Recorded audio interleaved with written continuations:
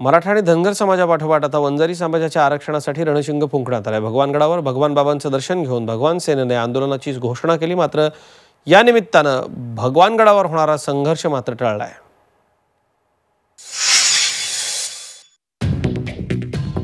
भगवानगड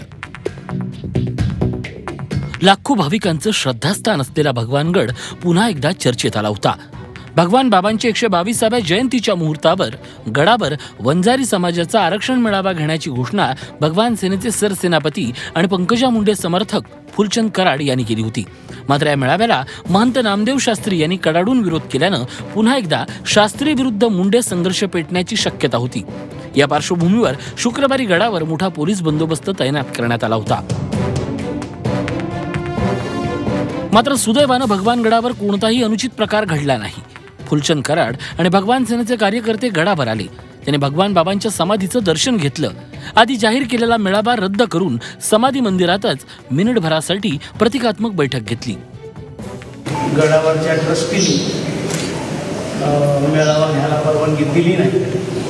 बैठक घ्यायला परवानगी दिली नाही. म्हणून आपण आचारसंहितेचा भंग करणं नको. म्हणून आपण होऊन मेळावा घेण्याचं टाळलेलं आहे. बैठक घेण्याचं आपण होऊन टाळलेलं आहे अवघ्या अर्ध्या तासात कराड आणि त्यांचे कार्यकर्ते भगवान गडावरून पायउतार झाले. मात्र वंजारा समाजाच्या आरक्षणासाठी आंदोलन सुरू झाल्याचं त्यांनी यावेळी आवर्जून स्पष्ट केलं. कुठल्याही कामाची सुरुवात करत असताना एक प्रथा आहे की कुठल्याही दैवताला नतमस्तक होऊन पुढं जायचं. तसं भगवान बाबा आमचं श्रद्धास्थान आहे. आणि भगवान बाबांचे आशीर्वाद घेऊन या आंदोलनाला सुरुवात करावी मग यश येतं असं आमची धारणा या निमित्तानं भगवानगडावरचा संघर्ष टळला असला तरी वंजारी आरक्षणासाठीचा संघर्ष मात्र सुरू झालाय.